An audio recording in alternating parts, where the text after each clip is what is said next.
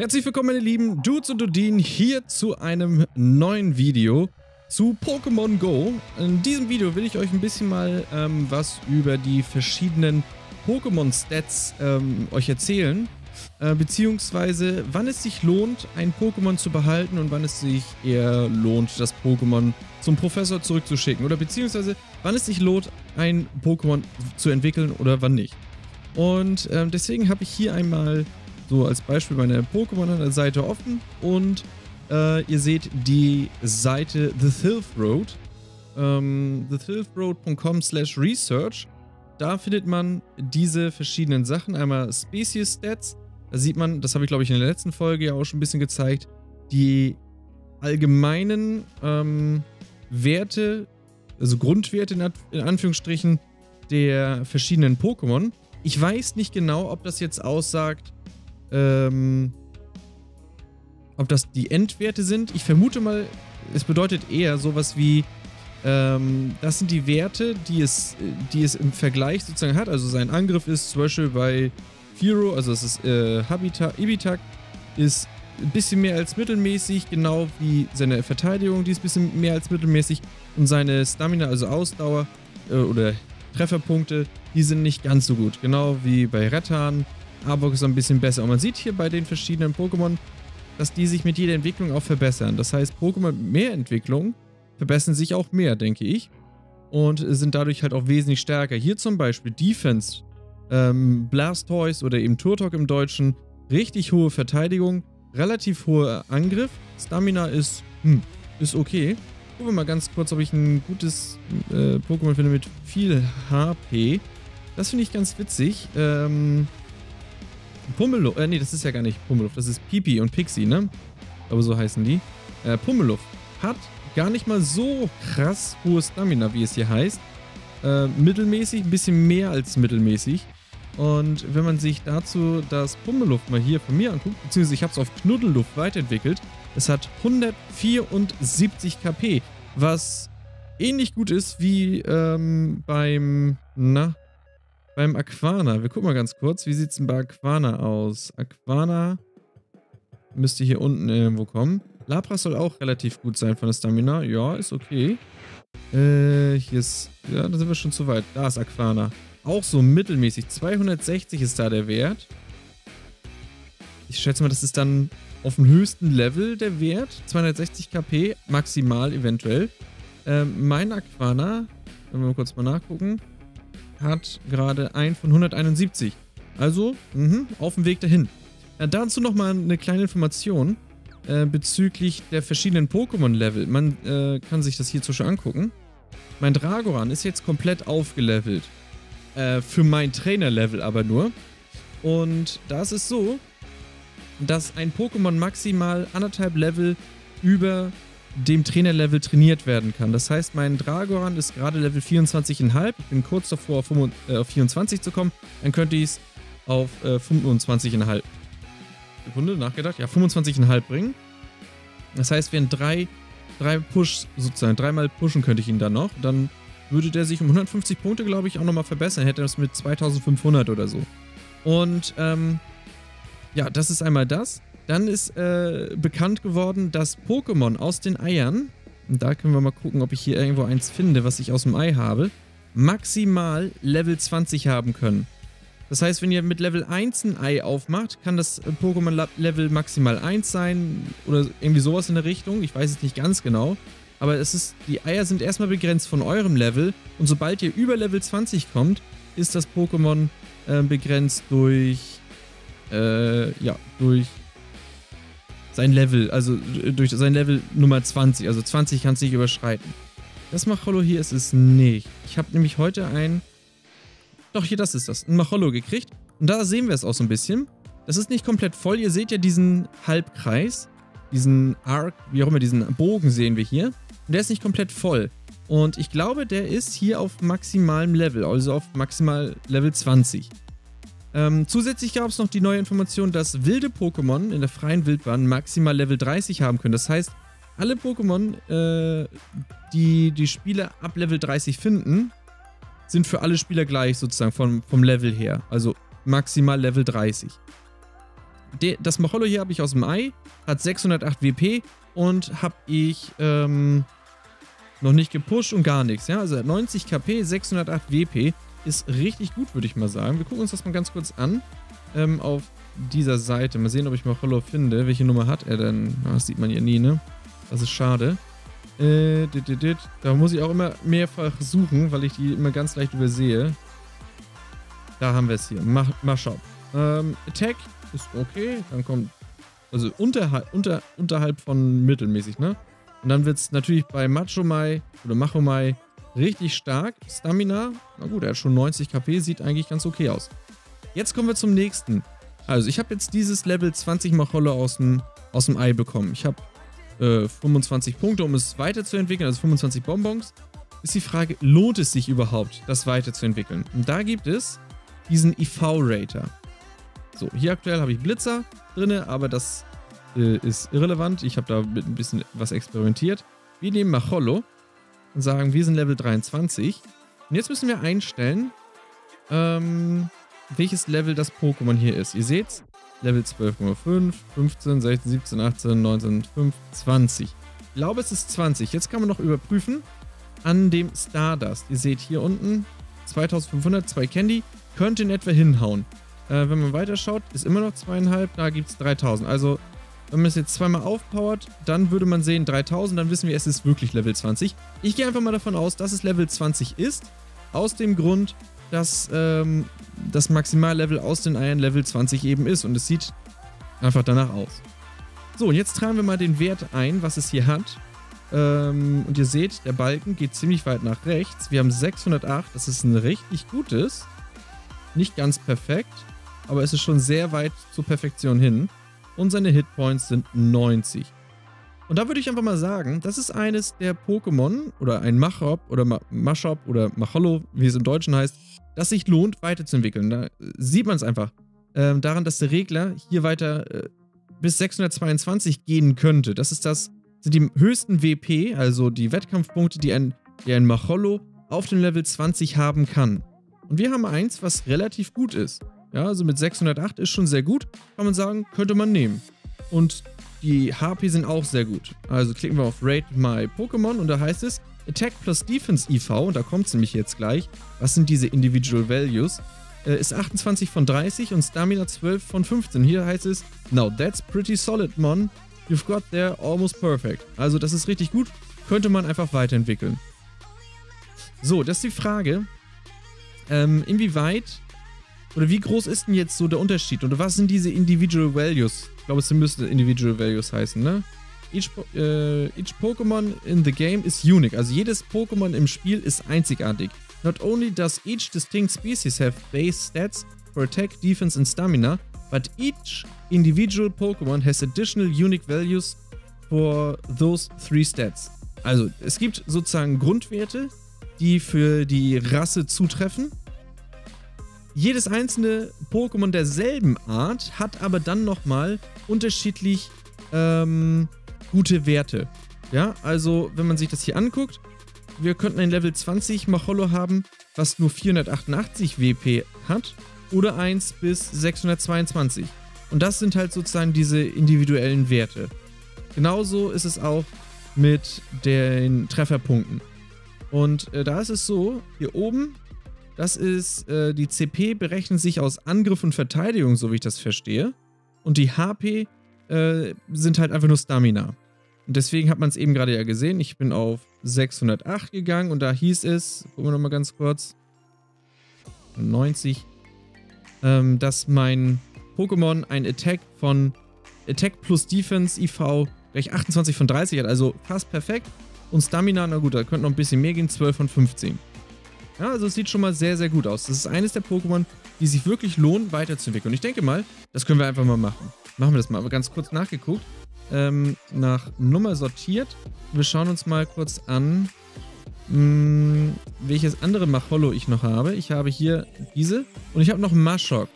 Das können wir mal ganz kurz abchecken, wie gut das Mashok ist. Habe ich eigentlich schon ein genauso gutes Mashok schon gehabt? Lohnt sich das überhaupt, jetzt um mal das zu entwickeln? Schauen wir mal. Mein Mashok hier, da habe ich nicht rumgetestet, hat 1020 ähm, WP. Ihr seht aber, dass sein Level sehr hoch ist schon. Also 3500 muss ich gehen. Hier in etwa. Ich schätze, in etwa ist es so Level 23. Könnte durchaus sein. Und es hat nur 1020 WP und eine HP von 110, was relativ gut ist, aber ihr seht, es ist eher im unteren Bereich. Das heißt, wir machen Raid My Pokémon und da ist Attack plus Defense 5 von 30. Das heißt, unter den Marschocks, was Angriff und Verteidigung betrifft, ist es sehr, sehr schlecht. Genau wie Stamina, wenn wir uns das angucken, 12 von 15 ist in Ordnung, aber leider nicht ähm, Angriff und Verteidigung. Deswegen lohnt es sich nicht unbedingt, dieses Maschok äh, weiterzuentwickeln oder zu, äh, zu Machomai zu entwickeln. Hier können wir es auch nochmal kurz, kurz gucken. Ihr seht auch, der ist auch Level 20, so wie das hier, aber hat nur 585. Also direkt mal wegschicken. Äh, der hier, naja, der könnte noch besser sein. 1900, überprüfen wir es auch mal, warum nicht? Man, äh, damit ihr so ein bisschen das Gefühl be bekommt, was äh, hier eigentlich los ist. Es ist nicht Level 20, das heißt, ich muss, um es aufzubessern, äh, um es nachher auf das maximale Level von 40 zu bekommen, müsste ich halt mehr investieren als für ein Pokémon, was halt schon ein hohes Level hat. So, es ist 1900. Ich vermute mal, es ist Level 16. Es hat 412 HP und ihr seht, burp, burp, burp, burp. also sehr schlecht. Da gucke ich mir den Rest auch nicht an, also direkt wegschicken, brauche ich nicht. Dann das Macholo, das ist mir auch einfach viel zu low. Das schicke ich halt einfach auch mal weg. Bumm, was soll's. So, dann nehmen wir das, dieses Macholo hier mal und entwickeln uns das. Und schauen uns einfach mal an, äh, wie das jetzt gleich von den Werten ist. Ich sage jetzt einfach mal, aus dem Bauch heraus, es ist wesentlich stärker als das, also was heißt wesentlich, es hat bestimmt 100 Punkte mehr oder so, als das andere ähm, Macho, wie heißt der? Maschok. Heißt der Maschok? Ich weiß es nie genau. Gucken wir mal. 988. Oh, das war eine, äh, da habe ich mich geirrt. Ah, nee, die, ah, ja, ja, okay, ich dachte schon. Nee, nee, ich habe mich nicht geirrt. Ähm, das Level ist natürlich unterschiedlich. Also nochmal ganz kurz nachgeguckt. Ich habe schon gerade gedacht, es ist ja nicht dasselbe Level. Man musste natürlich also wieder aufpushen, ist richtig. Ähm, gucken wir also mal hier, kurz mal Level 20, im Gegensatz zu dem anderen, das Level 23 ist. Ist also schon ein kleiner Unterschied. 988, ja, sieht sehr, sehr gut aus. Und Trefferpunkte 102. Also noch einmal gewertet, zack, sehr gut. Das heißt, wenn ich das jetzt hier ein bisschen aufpumpe, ein paar Level, wird es auf jeden Fall besser sein als dieses hier. Und ich müsste es im Prinzip, also 1000 Punkte hat es natürlich, nicht schlecht, aber im Prinzip könnte ich es auch einfach wegschicken, damit ich das nachher nicht verwechsel. Oder ich push ihn hier einfach schon mal. Power up. Machen wir einfach mal. 24 Punkte dazu bekommen. Also schon mal einen Punkt. Noch einer geht. Einer geht noch. Zack, dann müsste er auf 3000 sein. 3000 äh, Stardust und 3 Candy. Ja. Das heißt, wir haben jetzt zwei Punkte dazu gemacht. Also. 3000. Er ist Level 21 jetzt. Hat 1037. Also, ne, das, das wird sich jetzt hier nicht verändern. Ne, ihr seht, es macht keinen Unterschied, ob ich das Pokémon. Obwohl. Hm, hm, hm. Die HP sind die schlechter geworden. 11 von 15 durchs Pushen. Ah, das muss man mal im Auge behalten. Das wurde jetzt hier ein bisschen anders gesehen. Oder habe ich das falsch gemacht? Nö, eigentlich nicht. Okay. Vorhin hat es noch 12 von 15, jetzt nur noch 11 von 15. Das heißt, er hatte beim Upgraden wohl ein bisschen Pech oder so. Ich weiß es nicht genau. Ähm, wir sehen aber auf jeden Fall, dass sich das hier nicht verändert. Also die äh, CP bleiben immer gleich. Wir pushen es zwar, aber äh, für sein Level bleibt es sozusagen immer in Anführungsstrichen an derselben Position. Das heißt, es macht keinen Unterschied, ob ihr es vorher pusht äh, und upgradet oder nachher pusht und upgradet. Also es bleibt halt immer gleich. Nochmal ganz kurz geguckt. Fußkick und Überroller. Ich weiß nicht, ob das gute Attacken sind. Keine Ahnung. Wie sieht das hier bei dir aus? Fußkick, Überroller ist wohl Standard. Oder ziemlich, kommt es wahrscheinlich ziemlich häufig vor. Ja, das ist auf jeden Fall da so ein bisschen die Erklärung dazu. Diese Individual Values, die ähm, betreffen halt den Angriff, Verteidigung und die Ausdauer. Und äh, das führt einfach dazu, dass die, dass dasselbe Pokémon oder das gleiche Pokémon äh, auf dem gleichen Level unterschiedliche WP hat. Und je besser natürlich die Individual Values sind, desto besser ist es halt für das Endresultat, ja. Das ist schon mal Ganz top. Was haben wir noch hier stehen? Ähm, how, do you, uh, how do I know my Pokémon EVs? Die kann man halt nicht auslesen. Das hatte ich, glaube ich, auch im letzten Video schon gesagt. Man kann es halt nicht direkt so auslesen. Aber man kann es halt berechnen anhand der WP und so weiter. Die haben halt da ein bisschen Research betrieben und haben das halt alles berechnet. Und man sieht ja auch, dass das so ganz gut hinhaut. Ähm, how do I get the correct arc position? Das ist natürlich ein bisschen schwierig. Man muss halt äh, gucken, also wie, wie kriegt man das hin, dass man das gleiche, die gleiche Position hinbekommt. Man muss halt ein bisschen Augenmaß haben, ein bisschen Gefühl dafür. Man muss einfach schauen, Stardust Candy. Ich habe ja eben gesagt, äh, als ich zweimal abgegradet habe, dann müsste es 3000 sein. Und das war es ja. Erst war es dann nochmal 2500 Can äh, Stardust und 2 Candy. Dann nochmal 2500 Stardust und Candy, äh, 2 Candy. Und jetzt sind wir auf 3000 fürs nächste Upgrade. Und das heißt, wir sind tatsächlich bei Level 21 für diesen Pokémon. Und ähm, wir sehen halt, wie stark es genau ist. Wir können das hier schön abschätzen. Und falls ihr einen Pokémon habt, wo ihr sagt so, ach Mensch, das hat ja richtig gute Werte, ne? Dann lohnt es sich auf jeden Fall ganz krass, das zu upgraden. Wir können noch mal ganz kurz schauen, wie es mit meinem Dragoran aussieht, ob das wirklich so gut war, was das Dragoran, was ich da entwickelt habe oder nicht. Ähm, das heißt, ich gehe auch mal hier hin. Zack. Links werde ich natürlich auch alle in die Videobeschreibung packen. Ist ja eigentlich nur ein Link. Das ist silpro.com slash research. Ähm, es ist Maximal-Level, 24,5. Anderthalb Level über meinem. Und ihr seht schon, 2375 ah, ist 75 unter dem Maximalen. Also ist nicht das optimale ähm, Dratini gewesen, was ich genommen habe. Ich habe aber schon ein recht gutes Dratini genommen, finde ich. Und 126. Ja, es ist wirklich nicht optimal, was ich genommen habe. 24 von 30 und 9 von 15. Also es könnte wirklich besser sein. Aber naja gut, ein Dragoran haben oder nicht, das ist äh, eine andere Sache, ne? Und ja, das war es eigentlich im Prinzip damit schon. Damit könnt ihr halt einfach so ein bisschen mal schauen. Ihr könnt es halt so ein bisschen nach Bauchgefühl machen. Wenn ihr mal schaut, ähm, wenn man irgendwie zwei Pokémon hat, die in etwa dasselbe Level haben. Keine Ahnung, habe ich hier irgendwie welche auf demselben Level? Ja, die beiden. In etwa dasselbe Level. Ihr seht, der hat 1290, der 1318. Okay, der hat nur 110 KP und er hat 114 KP, dann ist der offensichtlich wesentlich besser als diese andere, obwohl sie auf demselben Level sind. Das heißt, es lohnt sich, diesen eher zu pushen als den anderen. Was aber noch dazu kommt, das ist natürlich eine andere Sache. Da braucht man natürlich auch nochmal Glück. Ähm, wenn wir uns das Dragoran jetzt angucken, er hat Stahlflügel und Hyperstrahl. Ich bin mit Hyperstrahl nicht ganz zufrieden. Es lädt sich sehr langsam auf und macht halt natürlich auch gut Schaden, aber es lädt sich halt einfach viel zu langsam auf. Wenn man welche hat, die in zwei Teile oder drei Teile aufgeteilt sind, also wo man mehr, äh, also mehrere äh, Balken hat, ich habe hier im Prinzip nur einen Aufladebalken, dann kann man die Attacke öfter benutzen. Wenn ich hier eine Arena angreife mit Dragoran, kann es halt sein, dass ich erst einen Gegner besiege, bevor ich den Hyperstrahl benutzen kann. Und deswegen ist das halt ein bisschen blöd. Ähm, was eben dazu kommt, ist, man hat vielleicht das perfekte Pokémon, hat dann aber irgendwie ganz blöde Skills. Hier wäre irgendwie so, wie bei meinem ähm, Aquana hier. Schauen wir uns das mal kurz an. Aquavelle. Hätte Hydropumpe sein können. Das wäre richtig stark. Aquavelle, hm, nicht so gut. Und deswegen, es ist zwar von den WP her ein relativ starkes Aquana. Ich kann mir das auch ganz kurz mal angucken. Ähm, wie gut das äh, Evoli war, das ich da entwickelt habe. Gucken wir mal, wo haben wir denn... Ach, ich suche immer mich blöd.